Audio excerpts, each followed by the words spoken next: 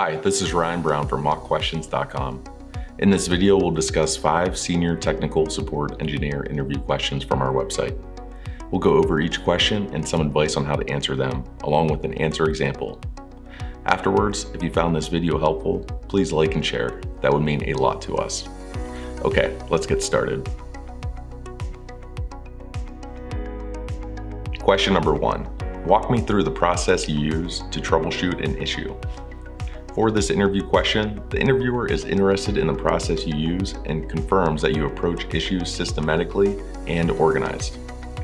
When responding to this question, you should describe the process step by step, without providing too much detail, just more of an overall high-level description. I try to determine the criticality of the issue, what symptoms the user is experiencing, and the last actions they took just before the issue occurred. I then develop a theory about what I believe is the cause and start working through the standard steps to resolve the issue. I document what I am doing and what results I am seeing, adjusting my approach as necessary. Once I believe the issue is resolved, I test the process or application. The last thing I do is ask the user to verify that the fix solved their problem. Finally, I close the ticket and document anything relevant so my team and I can refer to it the next time a similar situation arises. Question number two. What would you do if a user needed to access a file on a shared drive, but for some reason they are unable to? During an interview for a senior technical support engineer role, you will be presented with scenarios you may encounter on the job. The interviewer is seeking to understand how you go about diagnosing and resolving the issue.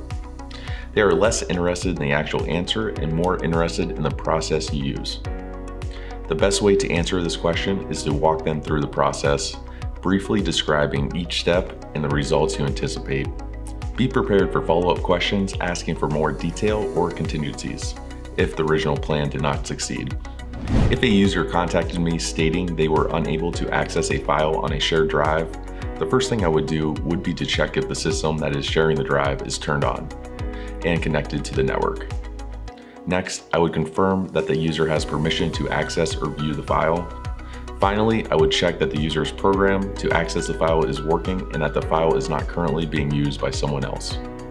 One of these steps typically resolves the issue.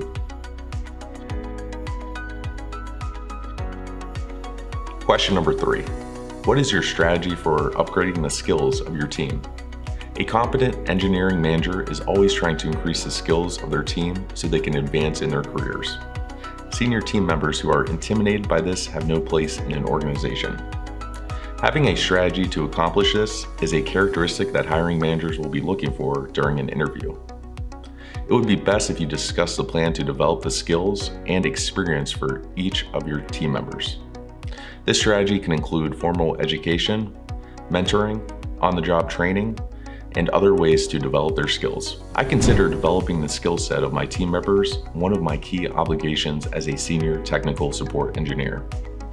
At the beginning of each year, I create a development plan for each employee and review it.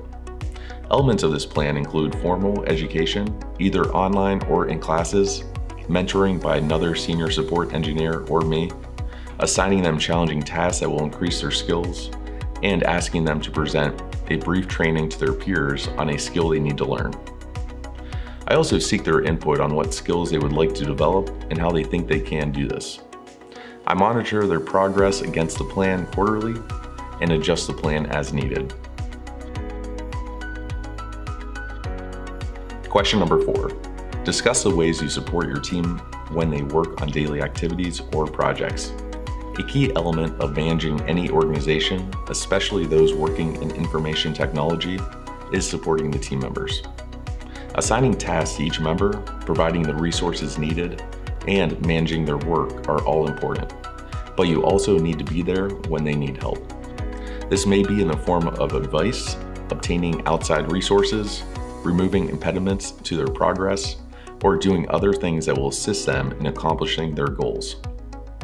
It would help if you also supported their personal development and advancement within the organization. Finally, you need to be able to resolve conflicts within the organization. Interviewers will be interested in learning about your skills in this area. I consider supporting my team to be my number one duty. The support I provide can come in many forms. It can include answering questions they have, helping them to obtain additional resources, resolving any issues which are blocking their progress, and most importantly, resolving conflicts between them and other project stakeholders. I also make an effort to expand their experience and skills and help them advance within the organization. I treat them as though they were part of my family, wanting them to succeed, and if possible, advancing even more than I have. Question number five. In your opinion, what are some of the characteristics a technical support engineer should possess? An interviewer will ask you this type of question because you are expected to recruit, screen, hire, and onboard junior support engineers. Even though you may not formally be a manager, you will be involved in the hiring process as a senior technical support engineer, even if it's just to, interview the candidates. Knowing about the characteristics and skills a technical support engineer should possess is vital. The best way to be prepared for this question is to carefully review the job descriptions of junior technical support engineers before going to the interview. I believe that some of the key skills a technical support engineer should possess include having a detailed knowledge of computer systems, including hardware, software, and network topology. They should have good problem solving skills and methodologies to work through an issue to, to a resolution quickly and efficiently. They should be aware of the latest trends in information technology and how to integrate these into the organization's technical strategy. They should be attentive to details and able to concentrate when trying to solve an issue. They should enjoy working with people and have strong communication skills. They should be curious and have a passion for continuous learning. They should be flexible and adaptable and willing to work at non-traditional times. Thank you for watching. If you found this video helpful, it'd be greatly appreciated if you could like or comment below. Thanks again, and we hope you stick around to watch more interview practice videos from us.